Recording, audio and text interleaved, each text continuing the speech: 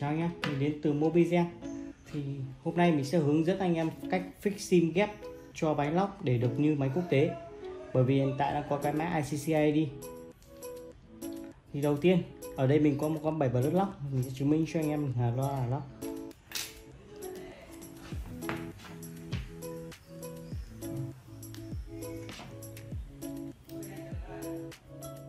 Đấy, máy lock thì khi lắp sim vào nó sẽ văng cái ra ngoài thì để fix được cái mã ICC ID này, thì anh em phải có một chiếc sim ghép. Và cái thứ hai là mình phải cập nhật cái iOS lên bản mới nhất. Hiện tại đang là 13.4.1 con này mình đã được lên 13.4.1 rồi.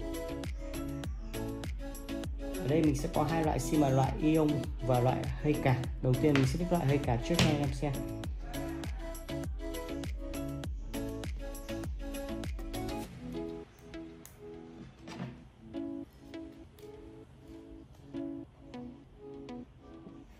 Loại hay càng này sẽ hiển thị ra các dòng để cho anh em chọn. Thì sẽ chọn dòng ICC ID only.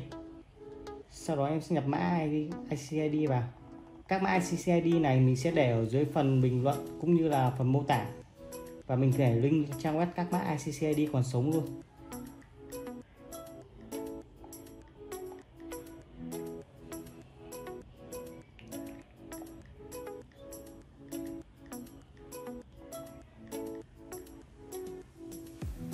Gửi sau thì ấn chấp thuận.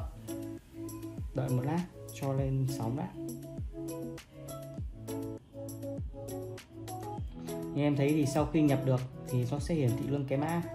Sau khi nhập mã ICID xong thì nó sẽ lên sóng và dùng đi quốc tế. Đây.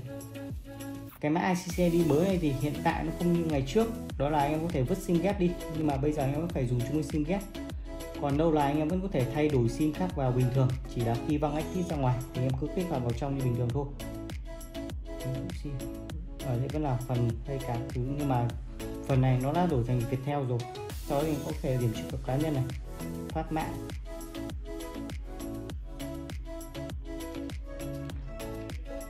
Bây giờ thì mình sẽ hướng dẫn cách em nhập ICCID qua một loại sim ghép khác. Đó là loại IO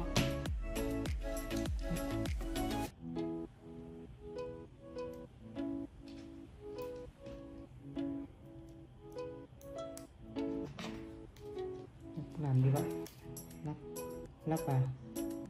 Sau đó ở mục nó, cái này nó sẽ khác sim hay cạc ở một chút, đó là nó sẽ có nhiều dòng hơn. Nhưng mà với tất cả các loại sim ghép nào cũng thế, mình cứ thấy dòng ICCID là mình sẽ chọn như ở đây sẽ có chữ edit ICCID là dòng thứ hai. Sau đó các bạn cũng nhập mã ICCID như mình vừa hướng dẫn.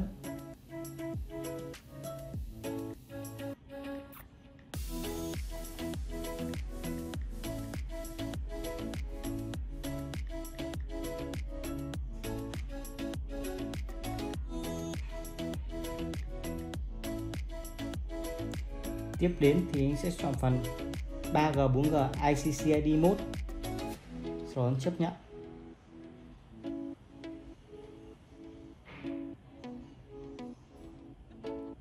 Em đợi một lát nó sẽ tự động lên sóng. Trường hợp thứ hai, đó là nếu mà khi anh em lắp sim ghép vào, mà nó chỉ văng màn hình exit ra ngoài thôi. Như này chẳng hạn.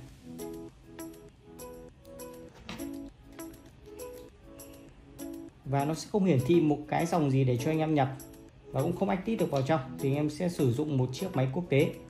Thì như ở đây mình có có một chiếc máy quốc tế là iPhone 7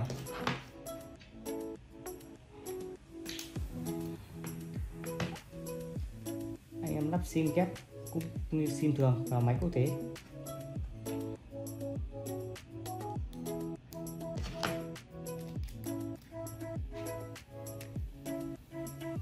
Sau đó em cũng vào phần cài đặt. Tiếp đến thì các bạn phần di động. Sau đó vào ứng dụng sim. Ở đây là sim ion 7 này, nó sẽ hiển thị tất cả các dòng. Thì em sẽ chọn dòng input ICCID này.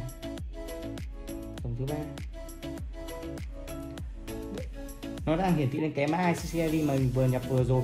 Thì em cũng chỉ cần gửi đi còn trong trường hợp mà nó cũng chưa có mã ICCID thì anh em có thể nhập lại xóa đi và nhập lại từ đầu. Sau cũng muốn 3G 4G ICCID mode ấn chấp nhận. Để kiểm tra được là anh em đã nhập thành công hay chưa thì anh em có thể vào phần cài đặt chung.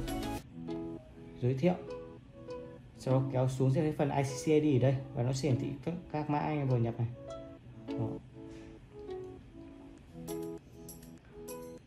Còn trong trường hợp mà anh em là không có sim ghép cũng như là không biết cách nhập thì anh em có thể cầm trực tiếp qua cửa hàng mình ở 264 Nguyễn Trãi, lối vào Đài Hà Nội.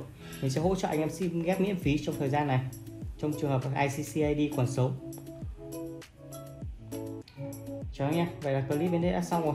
Hy vọng anh em có thể qua quán để ủng hộ cho mình.